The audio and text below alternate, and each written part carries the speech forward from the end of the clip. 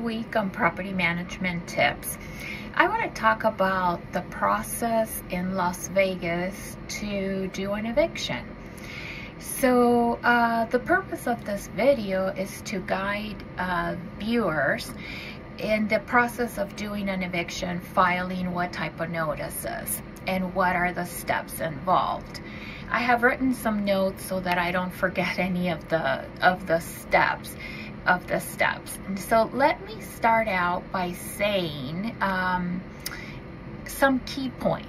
Okay, so the most important is who can file the notices. So the notices need to be filed by the constable or sheriff, um, an attorney's agent, or a licensed processor.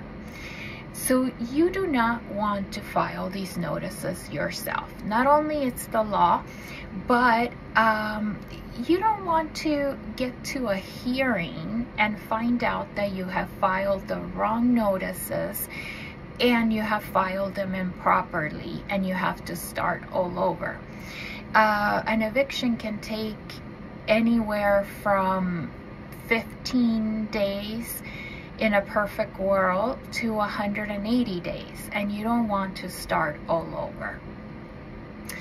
Uh, types of notices. So we have a few types of notices and the most common ones are the notice to pay rent or quit and that is filed after the rent is late. In Las Vegas, you have a minimum of um, three days before the rent is late. So we cannot say that the rent is late until the fourth of the month and then it depends on what you have written in your contract. In our case, the rent will be late on the fourth of the month. Uh, typically, you file a seven day pay or quit. It used to be five days, it is seven days now the notice to comply or quit. So those notices are used for lease violations and things related to non-payment of rent. Uh, usually it's those are five days. Uh, then we have the no cost eviction notices. These are usually for tenants that are month to month and they don't have to have a specific reason but it's usually takes a third it's a usually called or known as a 30 day notice. And these are used uh, for providing notice at the end of a lease uh, that you need the property back or you want the tenant to vacate. And that's one of the very common uh, reasons for filing a 30 day notice. Then we have the unlawful detainer. This notice it's used uh, when other notices have been ignored, such as um, the 30 day notice uh, have passed and the tenant is still in the property. So now you will proceed to the unlawful detainer. Issuing the notices. So here is where you would have the notice served to the tenant and it's very important to have proper documentation. That is why they have to be served by either the sheriff, the constable, sheriff, constable, uh, attorney's agent, or a licensed processor because either one of these services can provide proof of serving the notice properly in case you need to provide this proof during a hearing. The judge will receive the notices filed with the court, but you should also have a copy in your file when attending a hearing. The waiting period, it varies from notice to notice. On a seven day pay or quit, you would have to wait the seven judicial days, which means in the city of um, North Las Vegas and Henderson, the courts are not open on Fridays, so you do not count Friday, Saturday, or Sunday, or a holiday.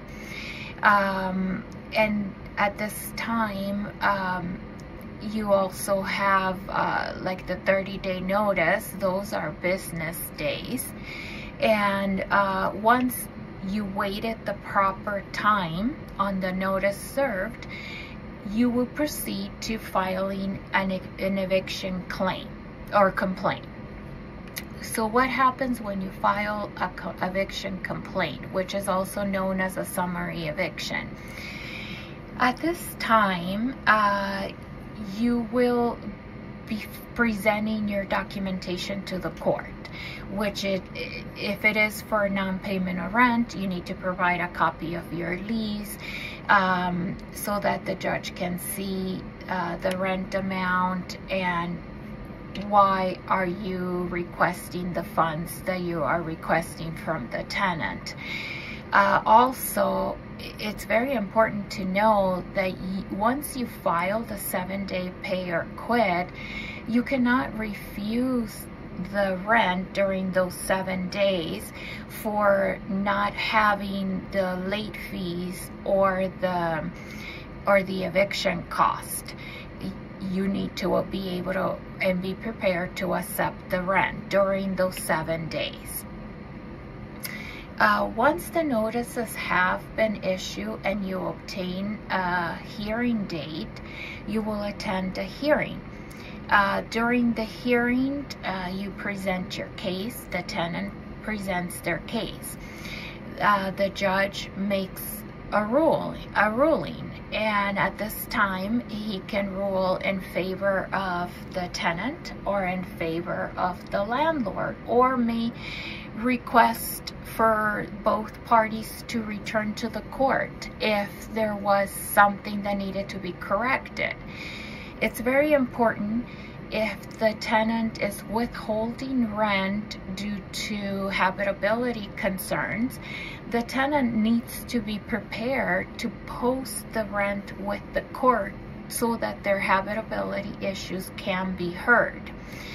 And uh, if the judge rules in favor of the landlord and grants the eviction, the next step it would be uh, processing the tenant out of the property. And how do you do that is by um, going to the constable's office and paying the constable. Usually it's between 94 and 96 dollars plus 2 to 4 dollars per mile from the constable's office to the actual property. The constable then uh, will post the proper notice letting the tenant know they will be locked out and that is usually known as 24 hour notice now keep in mind, depending on how busy the constable's office is, it may take a few days and not just 24 hours. Uh, once the notice has been posted, a locksmith will meet the constable at the property. You may be present if you would like to do that. I personally don't recommend that and we can talk about it. Why? And uh, the locks are changed, which at that point you will take possession of the property. Now, keep in mind, if there is personal items left in the property, you have to store them for 30 days.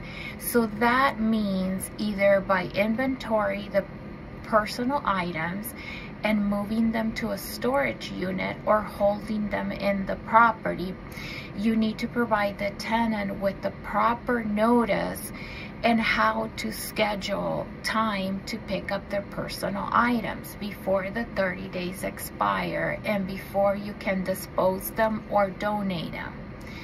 It is very important that you do not help the process by making the property uninhabitable and trying to push the tenant out of the property.